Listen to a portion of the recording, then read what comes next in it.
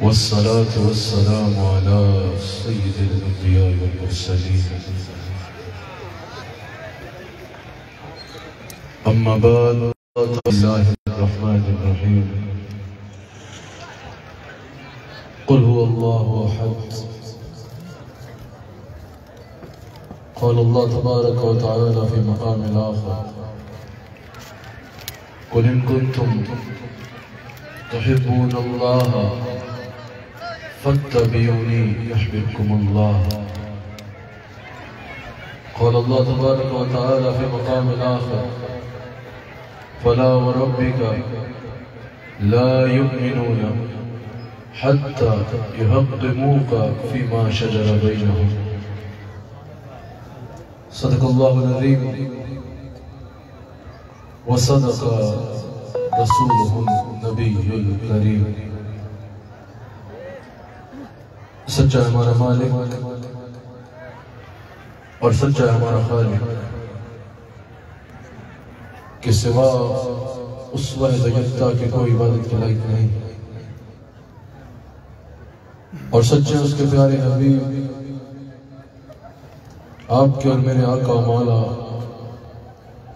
رحمت للعالمین خاتم النبیین، حضرت سیدنا و مولانا محمد الرسول اللہ صلی اللہ علیہ وآلہ وسلم، کہ جن کے ذکر کی اس خوبصورت محفل میں میں اور آپ حاضر ہیں۔ ہر سال کی طرح حجرہ شاہ مقیم میں حضور علیہ السلام کے ذکر کی یہ خوبصورت محفل اللہ تعالیٰ اس کو اپنی بارگاہ میں قبول فرمائے۔ آنے والوں کو آنے پر اور سجانے والوں کو سجانے پر اجر عظیم عطا فرمائے۔ ہر سال یہ حضرات بڑی محبت سے اور عقیدت سے اور اخلاص کے ساتھ اس محفل کا انعقاد کرتے ہیں۔ اور میرا پچھلے کئی برس سے ہر سال آپ کے پاس آنا ہوتا ہے۔ جو آپ کی رسول اللہ صلی اللہ علیہ وآلہ وسلم سے عقیدت ہے، یقیناً ولایت تحسین ہے۔ اللہ تعالیٰ اس میں مزید برکت عطا فرمائے۔ میں نے تھوڑی دیر آپ سے کلام کرنا ہے۔ گزشتہ صبح میں تقریباً تین مہینے کے سفر سے، جس میں امریکہ اور یو کے کے تقریباً ہر شہر سے حضور علیہ السلام کے میلاد پاک کے اجتماعات سے خطاب کرتا ہوا لینڈ کیا پھر ابھی رسول میں ایک جگہ اور پھر ابھی حجرہ شاہ مقیم والوں کی محبت ایسی ہے کہ مجھے یقین تھا تھکاوٹ اور آم سے اترے نہ اترے، آپ کی محبت رسول دیکھ کے ضرور اتر جائے۔ اللہ تعالیٰ آپ کی اس کیفیات میں مزید برکت عطا فرمائے۔ یہ بڑا بامقصد اجتماع ہوتا ہے۔ ہر سال یہاں آنا ہوتا ہے۔ صاحب فکر لوگ بیٹھے نظر آتے ہیں۔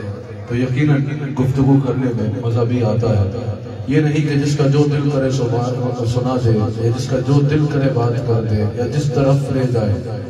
سننے اس کو نہیں کہتے۔ جو بولی بولنے والا آئے اس کو واہ واہ واہ واہ واہ کر کے رخصت کر دے۔ بلکہ سنی اس کو کہتے ہیں جو نظریات کا پکا ہوتا ہے۔ ہر بات کو تولتا ہے کہ کیا یہ بات عقیدہ اہل سنت کے معیار میں اتر رہی ہے یا نہیں اتر رہی۔ سنی ہر بات کو امام محمد رضا خان کو مد نظر رکھتے ہوئے دیکھتا ہے کہ کیا یہ بات کرنے والا یا کلام پڑھنے والا یا زبان کھولنے والا جو بات کر رہا ہے کیا یہ عقیدہ اعلیٰ حضرت کے مطابق ہے یا نہیں ہے؟ کیا یہ عقیدہ، امام ربانی، شیخ اکبر حضرت مجدد الفسانی، شیخ احمد سرحندی فاروقی رضی اللہ تعالیٰ عنہ کی بات کے مطابق ہے یا نہیں ہے؟ سنی ایک نظریے والے شخص کا نام ہوتا ہے۔ سنی مضبوط نظریے مضبوط عقیدے اور مضبوط عقیدت والے کا نام ہوتا ہے۔ سنی ہر بولی بولنے والے کو بابا کے ایک رخصت نہیں کرتا، بلکہ سنی وہی بات قبول کرتا ہے جو عقیدہ اہل سنت کے مطابق ہوتی ہے۔ اور آپ بات کو سمجھانے کے لیے عقیدہ اہل سنت میں استعارہ ہے میں نے پچھلے سال کچھ سال پہلے پوری گفتگو یہاں سلمان میں کی تھی۔ امام محمد رضا خان بریلوی رحمۃ اللہ علیہ کا اس میں گرا گیا۔ اس ترازو میں تول کے دیکھا کرو۔ جس کی بات اعلیٰ حضرت کی بات کے مطابق ہو، جس کی بات امام ربانی مجدد الپسانی کے بات کے مطابق ہو، وہی اہل سنت کے لیے بات قابل قبول ہوتی ہے۔ تو یہ نظریہ، یہ عقیدہ ہمیں اصل خانقاہوں سے ملتا ہے۔ اصل مدارس اور اصل اہل سنت کی درسگاہوں سے سے ملتا ہے کہ یاد رکھنا سنیو، ان مجالس کا مقصد صرف یہ نہیں ہے کہ تھوڑا سا وقت گزار کے محفل میں چلے جاؤ، یا چند نعت خوانوں کے اشعار سن کے محفل میں چلے جاؤ۔ اگر یقیناً صحیح العقیدہ سنی نعت خواہ ہو، اور عقیدت اور عقیدے کے ساتھ پڑھنے والا نعت خواہ ہو، تو اس کو سننا یقیناً باعث برکت ہے۔ لیکن اس کا مقصد صرف یہ نہیں ہوتا، بلکہ ان مجالس کا مقصد ہوتا ہے کہ کچھ انسان سیکھ کے جائے عقیدے اور نظریے کو مضبوط کر کے جائے رسول اللہ علیہ السلام کے بارے میں جہاں عقیدہ مضبوط ہو، وہاں عقیدت مضبوط ہو، محبت میں بھی انسان آگے بڑھتا چلا جائے اور اپنے نظریے اور اپنے عقیدے کو یہاں سے سیکھ کے جائے۔ تو یاد رکھیے گا، اہل سنہ کی خانقاہیں ہوں یا درسگاہیں ہوں یا مجالس ہوں سب سے پہلا پیغام جو دیا جاتا ہے وہ عقیدہ توحید میں مضبوط ہونے کا پیغام ہوتا ہے کہ جو اللہ کا ماننے والا ہے، رسول اللہ علیہ السلام کا غلام ہے، کسی بھی خانقاہ سے یا اہل سنت کی درسگاہ سے منسلک ہے، اس کو چاہیے کہ عقیدہ توحید میں کامل ہے عقیدہ توحید میں سب سے بنیادی چیز ہے کہ وجود بار تعالیٰ پر اس بات اور تعدد الہ کی نفی۔ سنیو، یہ ہمارا بیسک عقیدہ ہے۔ سب سے پہلے یہ عقیدہ دینا ضروری ہے کہ وجود بار تعالیٰ پر اس بات ہو۔ یہ اس بات پر ایمان ہو، سب سے پہلے ایک انسان کا یہ ایمان ہو کہ اللہ ہے۔ اور پھر تعدد الہ کی نفی عقیدہ توحید کی دو بنیادیں ہیں مضبوط، سب سے جو ضروری ہے عقیدہ توحید کے لیے۔ ایک سنی سے اگر پوچھا جائے کہ عقیدہ توحید کیا ہے، اور اس کو عقیدہ توحید کے تعریف بھی نہ پتا ہو، یا عقیدہ توحید کے بارے میں کچھ پتا ہی نہ ہو، تو اس کے لیے شرک کا مقام ہے۔ عقیدہ توحید کے لیے دو چیزوں کا سب سے پہلے ایمان ہونا ضروری ہے۔ سب سے پہلے وجود باری تعالیٰ کا اس بات۔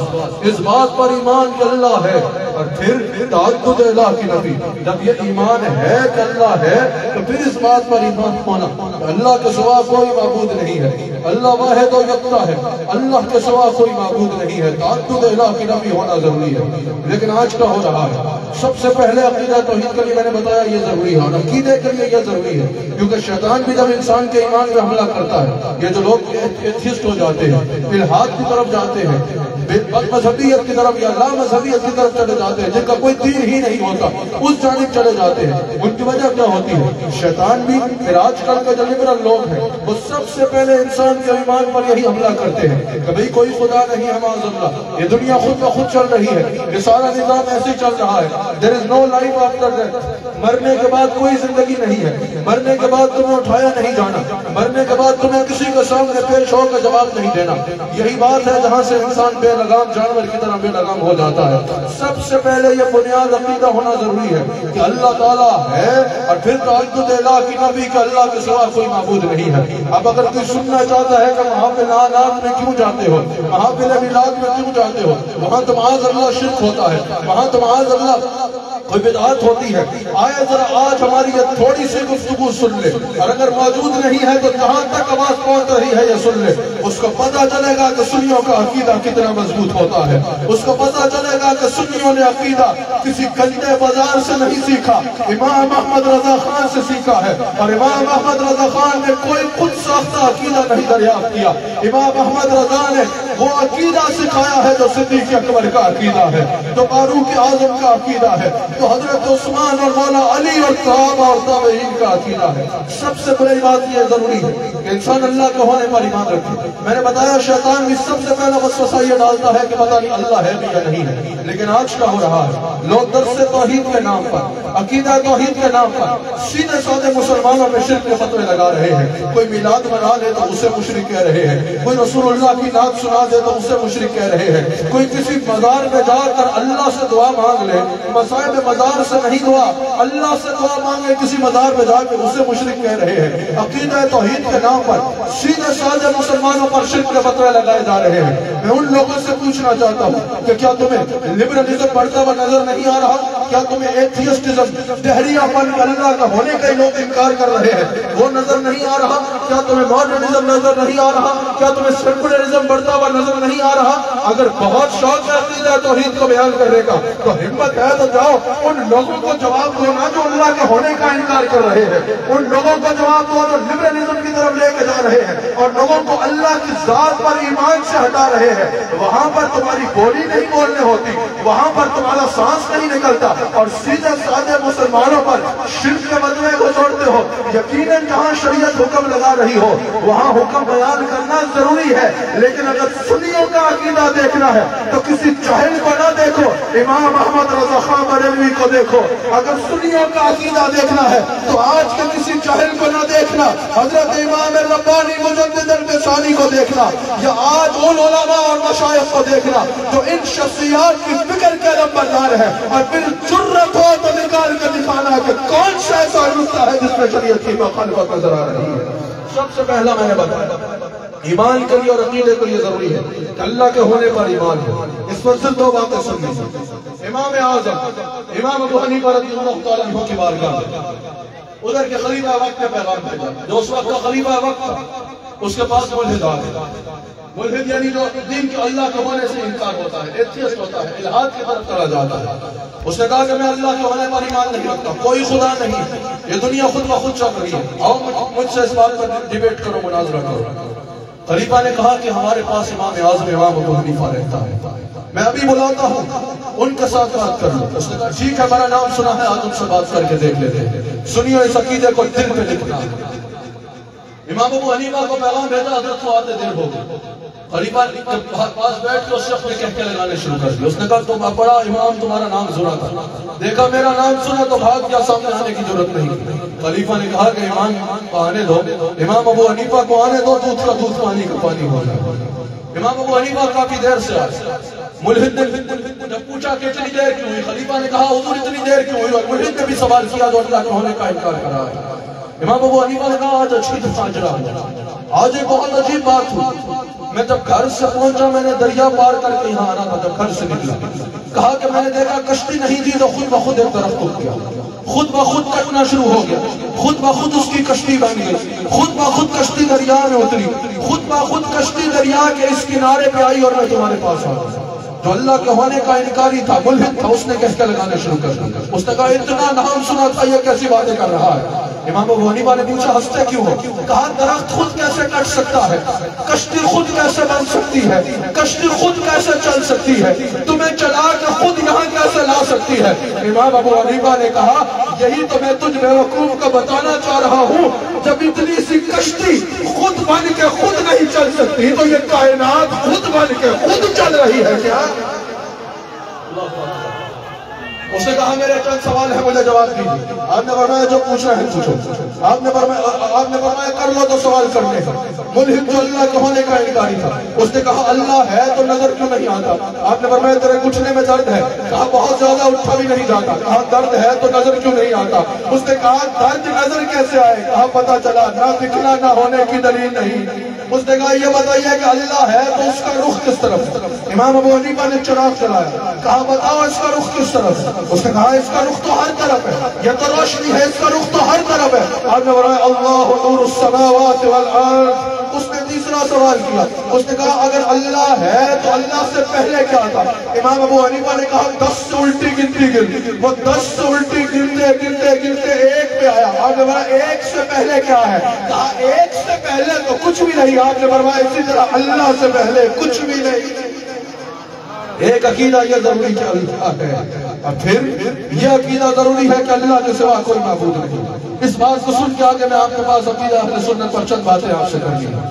دوسرا عقیدہ ضروری کہ اللہ کے سوا کوئی معبود نہیں۔ اللہ تعالیٰ خود قرآن کریم میں ارشاد فرماتا ہے کہ اگر اس زمین میں دو خدا ہوتے، اگر اس زمین میں دو خدا ہوتے تو زمین و آسمان میں فساد ہوتا۔ ایک کہتا بارش کرنی ہے، دوسرا کہتا نہیں کرنی۔ ایک کہتا میں نے کسی کو نوازنا ہے، دوسرا کہتا نہیں نوازنا۔ ایک کوئی بات کرتا، دوسرا کوئی بات کرتا۔ نظام برباد ہو جاتا۔ اگر ایک ملک کا دو سربراہ ہو، کیا ملک چل سکتا ہے؟ ہرگز نہیں چل سکتا۔ ایک کی پالیسی اور، دوسرے کی پالیسی اور ستیہ ناس ملک کا ہوگا۔ ایک اللہ والد ہے ایک مقام سے گزر رہے تھے ایک عورت کو دیکھا وہ چرخہ چلا رہی ہے۔ اب گاؤں والے نے تو اکثر چرخہ چلتے ہوئے دیکھا ہوگا۔ آپ اس عورت سے سوال کیا کہ کیا تیرا اللہ کے ہونے پہ ایمان ہے؟ اس نے کہا، بالکل، الحمدللہ۔ کہا، بتاؤ اس کی دلیل کیا؟ کہا، میرا چرخہ۔ کہا، تیرا چرخہ اللہ کے ہونے کی دلیل کیسے بن سکتا ہے؟ اس نے کہا، بتاؤ، میں چرخہ چلا رہی ہوں، روئی بند رہی ہے یا نہیں بند رہی؟ کہا، بالکل بند رہی وہ رک کہا، اب کیوں نہیں بند رہی؟ اب بند رہی ہے یا نہیں بند رہی؟ اب نہیں بند رہی۔ کہا، کیوں نہیں بند رہی؟ کہا، تو چرخہ چلائے گی تو روئی بنے گی نا۔ کہا یہی تو بات ہے، جب اتنا سا چرخہ کسی چلانے والے کے بغیر نہیں چلتا، تو اتنی بڑی کائنات چلانے والے کے بغیر چل رہی ہے۔ کہا، یہ بتاؤ، یہ تو عقیدہ سمجھ میں آ گیا تمہارا، یہ عقیدہ ہے کہ اللہ ہے۔ یہ بتاؤ کہ تمہارا کیا عقیدہ ہے؟ کتنے خدا ہے اس نے کہا، ایک۔ کہا، دلیل۔ کہا، میرا چرخہ۔ کہا، چرا چرخہ۔ اللہ کے ایک ہونے پہ دلیل کیسے بنے گا؟ کہا بتاؤ، میں چلا رہی ہوں دونوں طرف سے۔ جب ضرورت کرتی ہوں آہستہ چلاؤں، میں آہستہ چلاتی ہوں۔ جب ضرورت محسوس کرتی ہوں تیز چلاؤں، میں تیز چلاتی ہوں۔ اگر ایک طرف سے میں چلاؤں، دوسری طرف سے کوئی اور چلائے، میں ہلکا چلاؤں وہ تیز چلائے تو چرخہ ٹوٹ جائے گا۔ میں آگے چلاؤں وہ پیچھے چلائے تو چرخہ ٹوٹ جائے گا۔ کہا، اس سے اندازہ ہو رہا ہے نا اگر دو کے چلانے سے اتنا سا چرخہ برباد ہو سکتا ہے۔ اگر دو خدا ہوتے تو زمین و آسمان میں برباد ہو جانا ہوتا۔ یہ نظام کی وحدت بتا رہی ہے۔ اس سارے نظام کا ناظم ایک ہے اور وہ اللہ ہے۔ یہ عقیدہ ہے اہل سنہ کا۔ اہل سنہ شرک نہیں کرتے۔ اہل سنہ کا ایک ایک عقیدہ قرآن و سنت سے مطابق۔ لیکن عقیدہ توحید کا یہ مطلب سمجھ آتا ہے کہ اللہ واحد و یکتا ہے۔ عقیدہ توحید کا یہ مطلب بھی سمجھ آتا ہے کہ اللہ ذاتی شان والا ہے، باقی جس کے پاس جو ہے اللہ کی عطا ہے۔ عقیدہ توحید کا یہ مطلب بھی سمجھ آتا ہے، اللہ کسی کا محتاج نہیں۔ رسول اللہ علیہ السلام بھی اللہ کے محتاج ہیں اور ساری خلقت اللہ کی محتاج ہے عقیدہ توحید کا یہ مطلب بھی سمجھ آتا ہے کہ فائل حقیقی بھی صرف اللہ ہے، معبود برحق بھی صرف اللہ ہے، خالق حقیقی بھی صرف اللہ ہے، مالک حقیقی بھی صرف اللہ ہے۔ لیکن عقیدہ توحید کا یہ تقاضا سمجھ نہیں آتا۔ عقیدہ توحید کا یہ تقاضا تم نکال کے کہاں سے لے آئے ہو؟ کہ اللہ کے سوا کسی کی تعظیم نہ کی جائے، اللہ کے سوا کسی سے مدد نہ مانگی جائے، اللہ کی بارگاہ میں کسی کو وسیلہ نہ بنایا جائے، اللہ کی بارگاہ میں کسی کو شفیع نہ بنایا جائے۔ ارے بے وقوفو یہ ڈھنگوسڑے کہاں سے نکال کے لے آئے ہو؟ یہ عقیدہ تم نے کہاں سے دریافت کیا ہے؟ اور بعض بے وقوف تو میلاد اور عرس کو بھی جو ہے وہ شرک کہتے ہیں۔ حالانکہ ان کو یہ پتہ نہیں ہے کہ میلاد اور عرس کا تعلق ولادت اور وصال کے ساتھ ہے۔ اللہ ولادت سے بھی پاک ہے اور اللہ وصال سے بھی پاک ہے۔ سمجھ آ رہی؟ ہے یہ تقاضے تم کہاں سے نکال کے لے آئے ہو؟ عقیدہ توحید کے نام پہ لوگوں کے رسول اللہ سے توجہ ہٹانا چاہتے ہو؟ بے مزہ عشق کی سرکار نہ ہونے پائے۔ سنیو، ختم ذکر شہ ابرار نہ ہونے پائے۔ اور سن لو، ایسی توحید بھی شیطان بنا دیتی ہے۔ شیطان توحید کا منکر نہیں تھا، ایسی توحید بھی شیطان بنا دیتی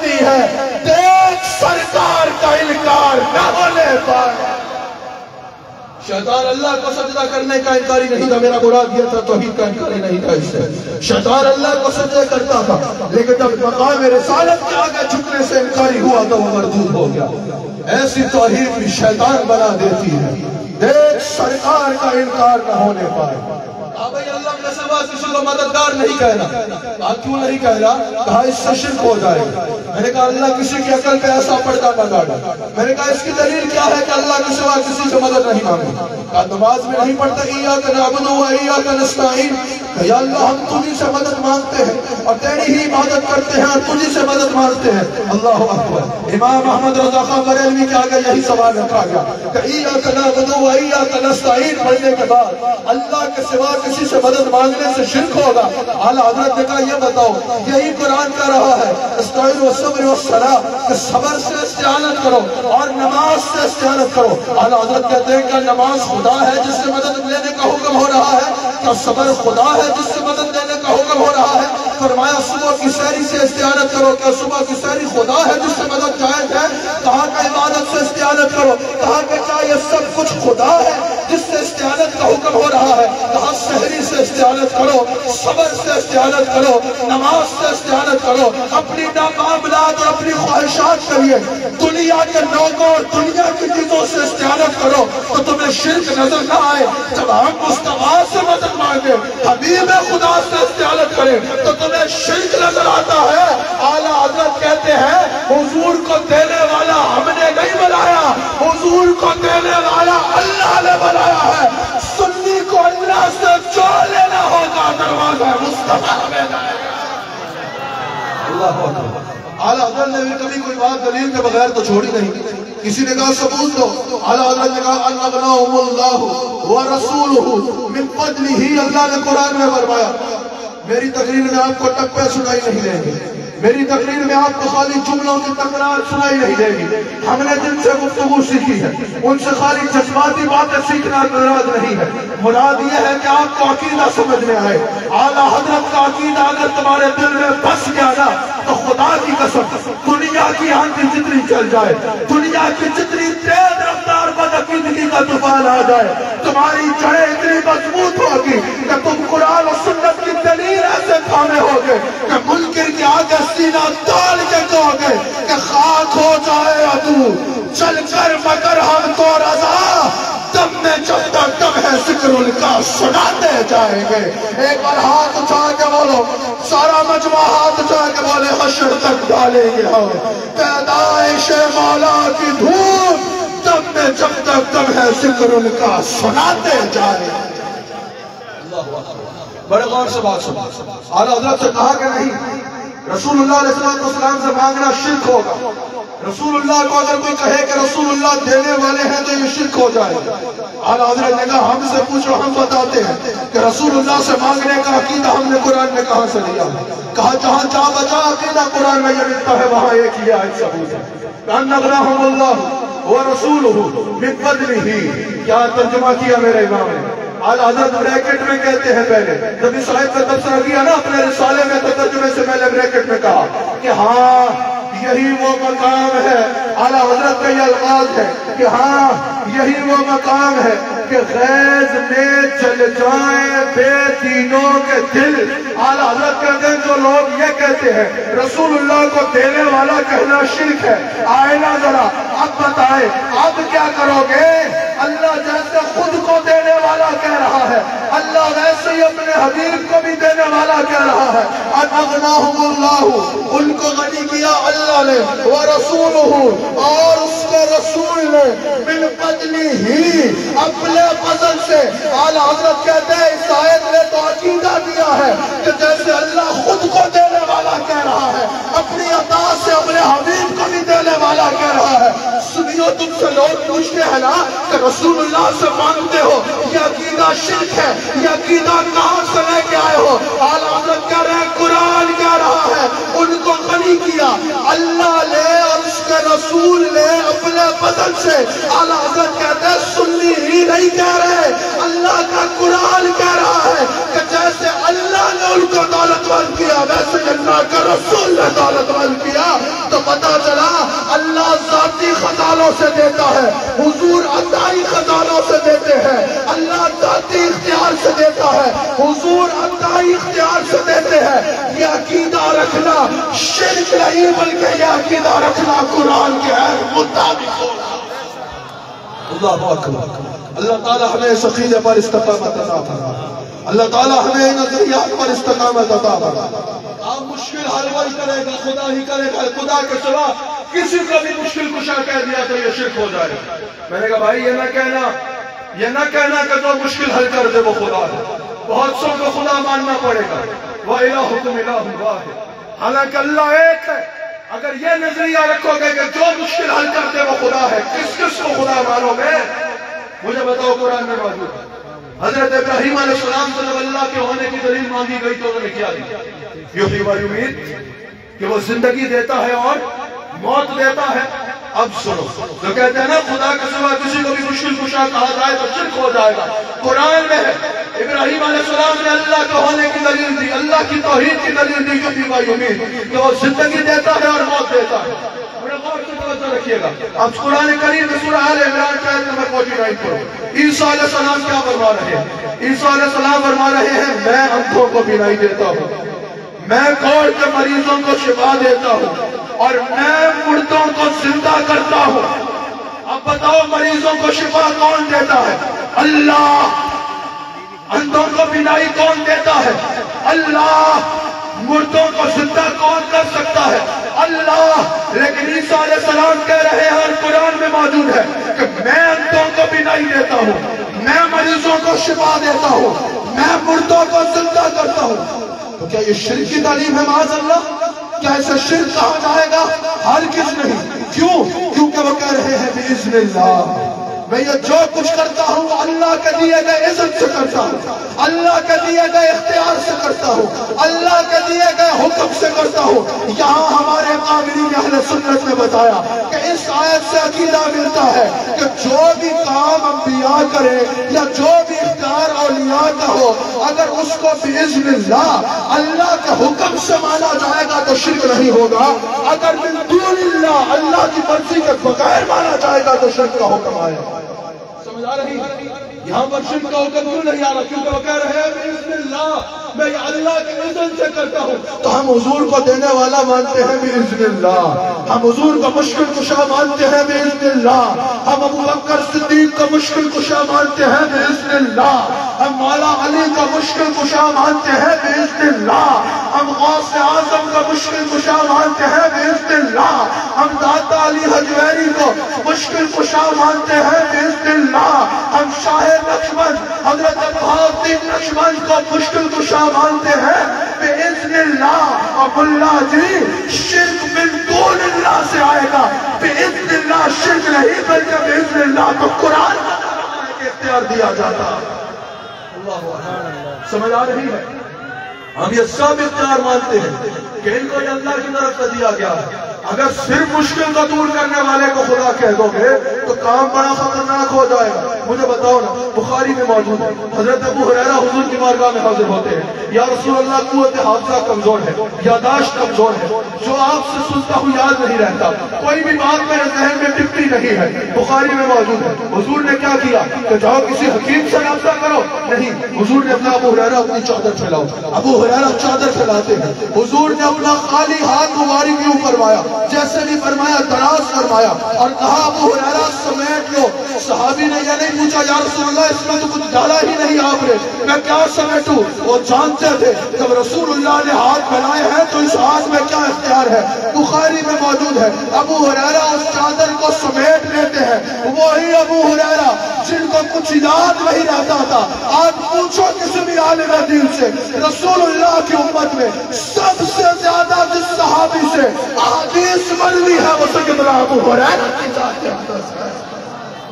اللہ اکبر۔ حضور علیہ السلام کی بارگاہ میں صحیح مسلم میں موجود ہے۔ حضرت قطادہ کی آنکھ نکل گئی چاہیے آنکھ ہاتھ میں لے کے حضور کی بارگاہ میں آتے ہیں۔ یا رسول اللہ، آنکھ نکل گئی، آنکھ عطا کرنا ہے حضور یہ نہیں فرماتے، میرا کام تو پیغام دینا ہے۔ I'm just like you میں تمہاری طرح ہوں۔ میں کیسے آنکھ ٹھیک کروں؟ حضور اپنی اس کی آنکھ میں اپنا لعاب لگاتے ہیں۔ مسلم میں یہ حدیث موجود ہے۔ حضور اپنا تھوک مبارک، اپنا لعاب مبارک حضرت قطادہ کی آنکھ میں لگا کے اس کے مقام پہ رکھتے ہیں۔ حضرت قطادہ کی آنکھ ٹھیک ہو جاتی ہے۔ حضرت قطادہ کہتے ہیں، پہلی آنکھ عمر کے ساتھ ساتھ کمزور ہوتی رہی۔ جو آنکھ مصطفیٰ نے اپنے لعاب سے لگائی تھی، جیسے دل کو دکھا دی تھی ویسے رات کو دکھایا۔ اللہ اکبر البدایہ والنہایہ میں موجود ہے۔ اور یہ ہمارے آئمہ اہل سنت کا آئمہ نے نقل نہیں کیا۔ نے بھی کیا، لیکن یہ البدایہ والنہایہ میں موجود ہے۔ اللہ اکبر ایک عورت اپنا گونگا بچہ لے کے۔ حضور علیہ السلام کی بارگاہ میں حاضر ہے صحابیہ کہتے ہیں، میں حضور سے کہنا چاہ رہی تھی، یا رسول اللہ، بچہ گونگا ہے، اس کو قوت گویائی دے دے۔ کہا بھی میں سوچ ہی رہی تھی، حضور سے عرض کروں۔ حضور نے میرے گونگے بچے کو مخاطب کیا اور کہا بچہ بتا، میں کون ہوں۔ عورت صحابیہ کہتی ہے، البدایہ والنہایہ میں موجود ہے۔ صحابیہ کہتی ہے حضور نے میرے گونگے بچے سے پوچھا، بتا، میں کون ہوں۔ میرے بچے کو صبح سوال ملی اور اس نے کہا، آپ اللہ کے سچے رسول اللہ اکبر۔ بخاری میں موجود ہے۔ حضرت جابر کہتے ہیں، میں نے کبھی حضور کی زبان میں نہیں آتے سنا ہی نہیں۔ بخاری میں موجود ہے۔ جابر کہتے ہیں، پندرہ سو صحابہ تھے۔ پانی ختم ہو گیا۔ ہم حضور کے آگے حاضر ہوئے، حضور نے ہاتھ اٹھایا، پانی کے چشمے ہاتھوں سے نکل گئے۔ بخاری میں موجود ہے۔ حضرت جابر کہتے ہیں، میں نے حضور کو گھر بلایا۔ چار بندوں کا کھانا پکایا تھا۔ حضور ہزار کے قریب صحابہ لے آئے۔ بخاری میں موجود ہے۔ حضرت جابر کہتے ہیں، چار بندوں کی ہنڈیا جس میں صرف ایک بکری کا بچہ تھا۔ میں نے حضور کے آگے رکھی۔ حضور نے دھوپ مبارک لوہا میں دہن مبارک ہنڈیا میں ڈالا۔ کہا، جابر جتنا کو کھلانا ہے، کھلا۔ جابر کہتے ہیں، ہزار صحابہ نے کھانا کھایا۔ میں نے کھایا میرے بچہ نے کھایا۔ حضور نے خود کھایا کھانا ختم نہ ہوا۔ اگر صرف اس کو خدا کہو گے جو مشکل کو دور کر دے، وہ خدا ہے۔ پھر کتنوں کو خدا کہو گے حضور کی اتنی شانوں کے باوجود سنی حضور کو خدا نہیں مانتے، بلکہ بنتا ہے خدا مانتا ہے۔ سمجھ آ رہی ہے؟ ہم ایک اللہ کو مانتے ہیں کیونکہ اللہ ایک ہے۔ اللہ اکبر اب بعض لوگوں کی توحید ہے توحید یہ کہتا ہے، میں نے اپنی بات کو سمیٹنا ہے، میں نے آپ کو خود بتایا مجھے مستقل محبت میں سفر آ رہا اور آتے ہی آپ کے پاس حاضر ہو گیا۔ مجھے اپنی گفتگو کو سمیٹنا ہے۔ یہ حجرہ والوں کی محبت میں مثال ہے۔ آج بھی جیسا ہوا میں تین مہینے سے سفر میں تو آیا تو سیدھا آپ کے پاس آیا۔ ایک دفعہ مجھے یاد ہے وہ ازبکستان کے وزیر اعظم نے ایک کانفرنس رکھی تھی۔ مجھے اس میں جانا تھا تو میں نے چند دن پہلے معذرت کی۔ تو انہوں نے کہا کہ ٹھیک ہے، لیکن ہم بیان میں تمہارا نام ہی رکھیں گے۔ مجھے جو پیغام ان کی طرف سے ملا۔ اگر میں جا سکا تو آ جانا۔ میں نے کہا، محبت سے کہہ رہے ہیں، نہ جا سکا یہ تو ایک حکومتی کانفرنس ہے وہاں۔ حضرت ابو منصور معطونی جی رحمۃ اللہ علیہ کے مزار کو ازبکستان کے وزیر اعظم نے رکھی تھی۔ تو اتفاق ایسا ہوا کہ ان کی محفل سے ایک دن پہلے وہ کانفرنس مہینہ آگے ہو گیا تو میں نے کہا، حجرہ والوں کی دعاؤں میں بڑا اثر ہے ماشاءاللہ اللہ۔ تعالیٰ ان کو مزید برکت جو ہے وہ عشق رسول جو ہے وہ مزید برکت عطا فرمائے۔ اس دو باتیں اور سن لیجیے بعض لوگ عقیدہ توحید کے نام پہ کہتے ہیں انانا اللہ کی بارگاہ میں وسیلہ نہ بنانا کسی کو۔ کہاں سے آ رہے ہو بھائی؟ کیوں نہ بنائے اللہ کی بارگاہ میں وسیلہ۔ کہا، اللہ کی بارگاہ میں وسیلہ بنایا کسی کو تو شرک ہو جائے۔ وسیلہ کو بھی شرک کہہ دیا، اللہ خود فرما رہا ہے، یا ایوہ الذین آمنوا، اتقوا اللہ، وابتغوا الیہ الوسیلہ۔ اے ایمان والو، اللہ سے ڈرو اور اس کی طرف وسیلہ تلاش کرو۔ کیا خوب بات کی میرے امام احمد رضا نے۔ کہا کہ اللہ کی بارگاہ میں اللہ کو وسیلہ بنا لے۔ کہ اللہ کی بارگاہ میں اللہ کو ہی وسیلہ بنائے؟ کہا، جہاں توسل بالاعمال جائز ہے، نیکیوں کا توسل جائز ہے، وہی توسل بالاشخاص شخصیات کا توسل بھی جائز ہے۔ کہا کہ تمہیں وسیلہ کی سمجھ ہی نہیں؟ وسیلہ منزل نہیں ہوتی۔ وسیلہ منزل تک پہنچنے کا ذریعہ ہوتا ہے۔ اللہ منزل ہے یا ذریعہ؟ اللہ منزل ہے۔ اللہ منزل ہے اور وسیلہ اللہ تک پہنچنے کے ذریعے کو کہا جائے گا۔ بڑے غور سے بات سنا کہا بھائی وسیلہ شرک ہے۔ اعلیٰ حضرت نے کہا تمہیں وسیلہ کا مطلب ہی نہیں پتا۔ اعلیٰ حضرت نے بتاوا رضویہ میں وسیلہ کا جب کلام کیا تو اس کو بھی نقل کیا، اس حدیث کو۔ اعلیٰ حضرت نے اس حدیث کو نقل کیا بتاوا رضویہ میں۔ کہ حضور کی بارگاہ میں ایک شخص آتے ہوا کہ یا رسول اللہ، ہم آپ کی، آپ کو اللہ کی بارگاہ میں وسیلہ بناتے ہیں اور آپ کی بارگاہ میں اللہ کو وسیلہ بناتے ہیں۔ حضور کو جلال آ گیا۔ حضور نے فرمایا، سبحان اللہ۔ اللہ اس سے پاک ہے۔ اللہ کی شان کا شایا نہیں کہ اس کو کسی کی بارگاہ میں وسیلہ بنایا جائے۔ وسیلہ مخلوق کی شان ہے، وسیلہ اللہ کی شان نہیں ہے۔ تو پتا چلا، اللہ کو تو وسیلہ نہیں بنایا جائے گا نا۔ اللہ تک پہنچنے کے ذریعے کو وسیلہ کہا جائے گا۔ اس پر حدیث سن حضور نے خود اس کو سکھایا ہے۔ اعلیٰ حضرت نے اس کو وسیلے کے ثبوت میں بھی لکھا ہے اور ندائے یا رسول اللہ کے استدلال میں بھی لکھا ہے۔ ترمذی میں حدیث موجود ہے۔ علماء بیٹھے اسٹیج پہ نظر آ رہے ہیں۔ امام ترمذی حدیث کا وہ امام ہے، جو حدیث کی صرف سند ہی نہیں بتاتا، بلکہ درجہ بھی بتاتا ہے کہ کس درجے کی حدیث ہے۔ امام ترمذی کہتے ہیں حاضر حدیث الحسن صحیح. اللہ اکبر۔ اور حدیث کیا ہے؟ حضرت عثمان بن حنیف رضی اللہ تعالیٰ عنہ حضور کی بارگاہ میں حاضر حاضر ہے وہ کہتے ہیں حضور کی بارگاہ میں بیٹھے تھے اتنے میں ایک نابینا صحابی آنکھیں نہیں تھی ان کے پاس۔ حضور کی بارگاہ میں حاضر ہوئے اور عرض کی، یا رسول اللہ، آنکھیں نہیں ہیں، بینائی چاہیے۔ حضور نے فرمایا گھر جاؤ۔ حضور چاہتے نا حضرت علی کو بھی تو عشق و چشم ہوا تھا۔ حضور نے کہا، بلاؤ۔ حضرت علی آئے۔ حضور نے اپنا لعاب حضرت علی کی آنکھوں میں لگایا۔ خیبر سے پہلے حضرت علی کی آنکھیں ٹھیک ہو جاتی ابھی میں نے بخاری سے سنا ہے حضرت قطادہ کی مسلم کی حدیث سنائی۔ حضرت قطادہ کی آنکھ میں اپنا لعاب لگایا نکلی بھی آنکھ لگا دی حضور چاہتے تو اس نابینا صحابی کی آنکھوں میں لعاب لگاتے اس کی آنکھیں ٹھیک ہو جاتی لیکن قیامت تک آنے والے امت کے بیماروں کو رستہ بتا رہے ہیں۔ ترمزی میں موجود ہے۔ حضور نے اس نابینا صحابی کو کہا، گھر جاؤ، غور سے سن لے۔ اور کہا، گھر جا کے اس انداز میں دعا کرو کہ یا اللہ، میں تیری بارگاہ میں سیدنا محمد صلی اللہ علیہ وآلہ وسلم، جو نبی رحمت ہے، ان کا وسیلہ پیش کر کے عرض کرتا ہوں، میری مشکل کو دور کر پھر حضور فرماتے ہیں، گھر سے مجھے مخاطب کرو۔ اور کہو، یا رسول اللہ صلی اللہ علیہ وسلم، میں نے آپ کا وسیلہ پیش کر کے اللہ سے عرض کر دی ہے۔ یہ ترمزی میں حدیث موجود ہے۔ اور امام ترمزی کہہ رہے ہیں حاضر حدیث حسن صحیح کہ حضور فرما رہے ہیں، گھر جا کے مجھے کہو۔ یا رسول اللہ، میں نے آپ کا وسیلہ پیش کر کے اللہ سے عرض کر دی ہے اب آپ اللہ کو حضور میری سفارش کر دیں۔ اعلیٰ حضرت کہتے ہیں، سوال یہ ہے، صحابی حضور کے سامنے بیٹھا ہے اور حضور فرما رہے گھر جا کے کہو، یا رسول اللہ سفارش کر دے جب سامنے بیٹھا ہے، تو سامنے بیٹھ کے کہہ دینا ہاں، یا رسول اللہ سفارش کر دے حضور فرمائے نہیں اپنے گھر جاؤ، گھر جا کے کہو، یا رسول اللہ سفارش کرے اجرے والا یہ عقیدہ حضور کا دربار سے مل رہا ہے۔ اگر کوئی مدینے نہیں آ سکتا، تو پریشان نہ ہو، جہاں بھی ہو وہیں سے دو۔ صدا سرکار سنتے ہیں، سر آئینہ سنتے ہیں پسے دیوار حضور بتا رہے ہیں۔ تو جیسے میں مدینہ پاک آنے والے کی سنتا ہوں، جیسے رسول اللہ کے روزے پہ جانے والے کی حضور سنتے ہیں۔ حضور بتا رہے ہیں، ایسے ہی اگر کوئی دنیا کے کسی مقام سے، گویا کہ حجرہ شاہ مقیم سے مشکل میں ہو، بیماری میں ہو، تکلیف میں ہو، کوئی اپنا نہ ملے، مدینہ پاک کی طرف رخ کر کے کہے اخشنی یا رسول اللہ یا محمد و یا رسول اللہ۔ حضور حضور بتا رہے ہیں، جیسے میں مدینہ شریف آنے والے کی سنتا ہوں ایسے دنیا کے کسی کونے سے بھی پکارنے والے کی سنا کرتا ہوں۔ ہم نے کہا، یا رسول اللہ ہاں، نا نا نا نا شرک ہو جائے گا۔ ابے بھائی، ہر بات پہ تجھے شرک کا بدوا لگانا سن جاتا ہے۔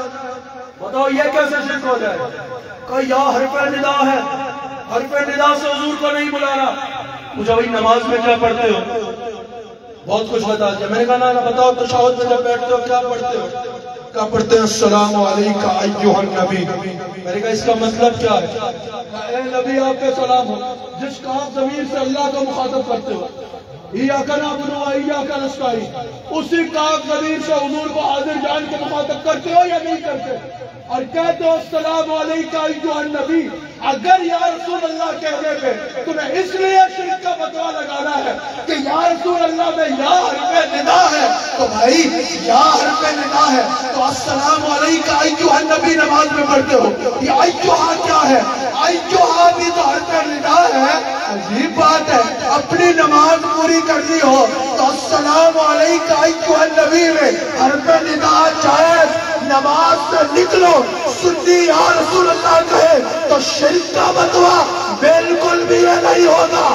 ہم نماز میں بھی یا رسول اللہ، ایجو نبی کہہ کے کہتے ہیں، نماز سے بار بھی کہتے ہیں، نعرہ رسال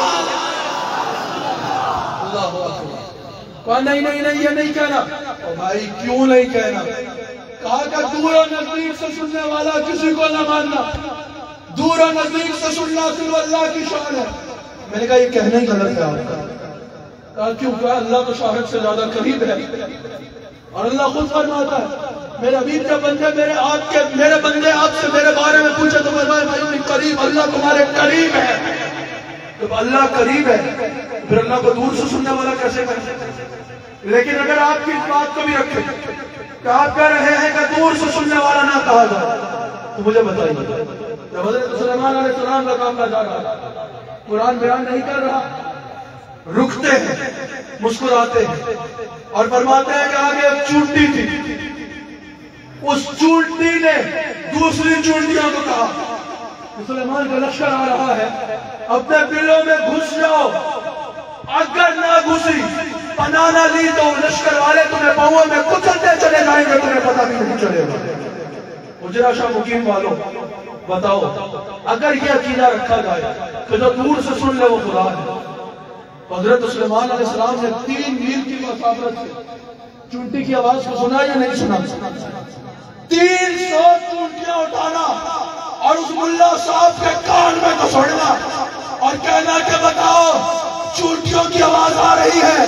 ہائے ہائے کرے گا، لیکن چونٹیوں کی آواز نہیں آئے گی۔ اور ملا تین سو چونٹیاں تیرے کان میں گھسڑی جائے تو جو ان کی آواز نہ آئے۔ اور پھر کہے دور و نزدیک سے کوئی نہیں سن سکتا، جب سلیمان علیہ السلام کی یہ چال ہے، تین میل کی مسافرت سے قرآن کہہ رہا ہے چونٹی کی آواز سن سکتے ہیں۔ تو سلیمان کا امام انبیاء کا تاجدار تاجدار ختم نبوت، محمد رسول اللہ حجرہ شاہ فقیر سے، یا رسول اللہ کی صدا نہیں سن سکتے سن سکتے ہیں ہاتھ اٹھا کے کہو، یا رسول اللہ سنیا اونچا بولو یا رسول اللہ عقیدے کا اظہار کرو۔ بولو کہو یا رسول اللہ اونچا بولو یا رسول اللہ ہاتھ اٹھا کے بولو، یا رسول اللہ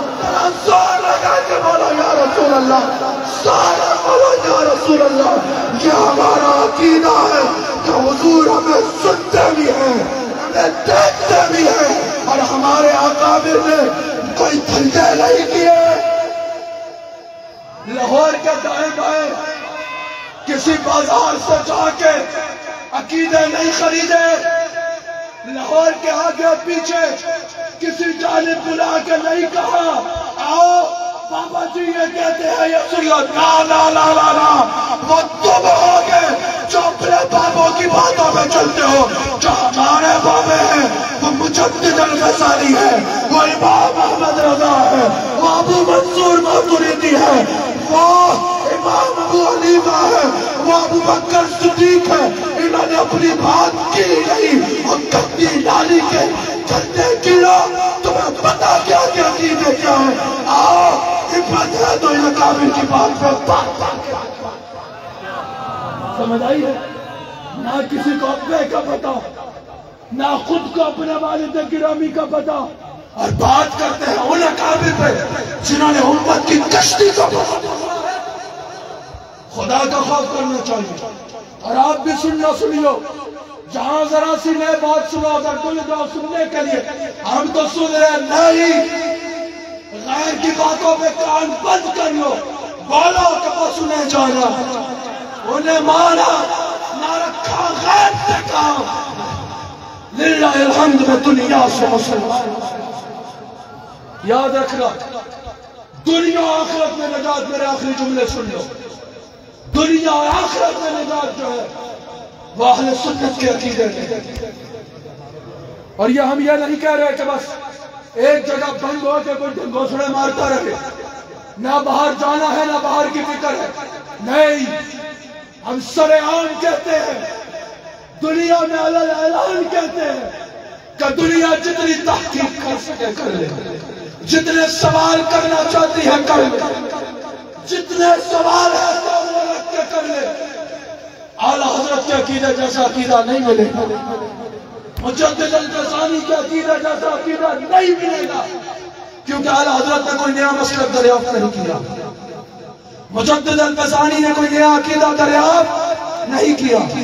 ہمارا وہی عقیدہ ہے جو صحابہ کا عقیدہ جو قرآن و سنت سے ملا۔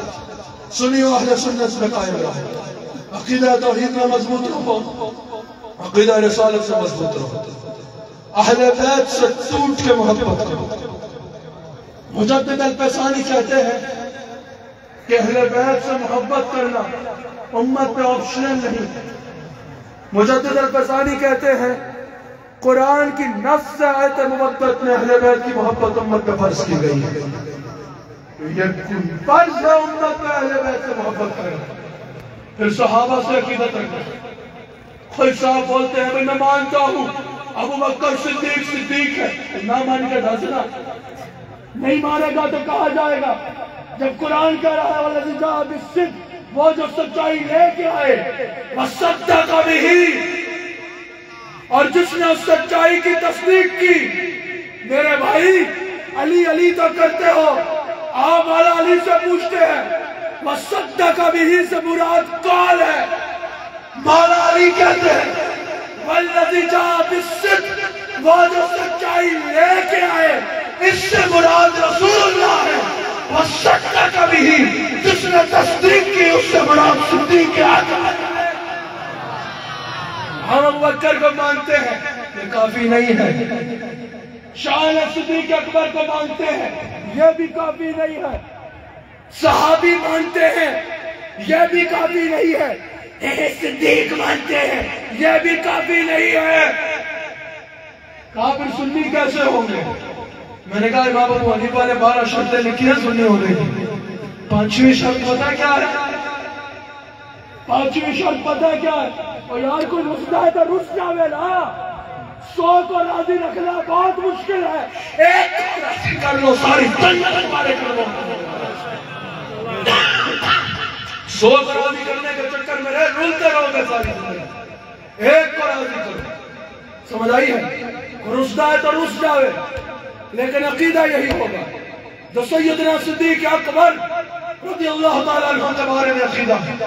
میں نے بتایا خالی صحابی ماننا بھی کافی نہیں خالی شان ماننا بھی کافی نہیں خالی مقام ماننا بھی کافی نہیں۔ سنی کیسے ہوگے؟ امام ابو حنیفہ کہتے ہیں سنیو ادھر دیکھو اور ہاتھ اٹھا کے اس عقیدے کو یاد کر لینا۔ امام ابو حنیفہ کہتے ہیں۔ سنی تب ہوگا جب عقیدہ یہ ہوگا کہ انبیاء اور رسول کے بعد افضل البشر بعد از انبیاء بالتحقیق تمام انبیاء کے بعد سب سے بلند رتبہ جس ذات کا ہے، اسے ابو بکر صدیق کہتے ہیں۔ سمجھ آ گئی؟